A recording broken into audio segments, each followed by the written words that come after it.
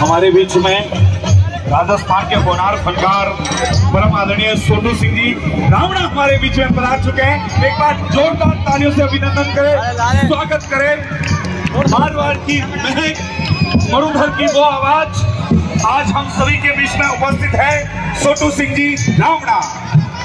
एक बार जोरदार ताली से अभिनंदन करते हुए और हमारे बीच में शिवाना की धरती के चाहे जन्म लाटे परम आदरणीय विधायक साहब हमीद सिंह जी भाई साहब भी हमारे बीच में उपस्थित हैं और राजस्थान की वॉइस ऑफ़ मारवाड़ और अब वॉइस ऑफ़ हिंदुस्तान बन गई है जिन्होंने संपूर्ण हिंदुस्तान में अपनी अनूठी आवाज़ और अनूठी गायकी का परचम लहराया बैठे बैठे।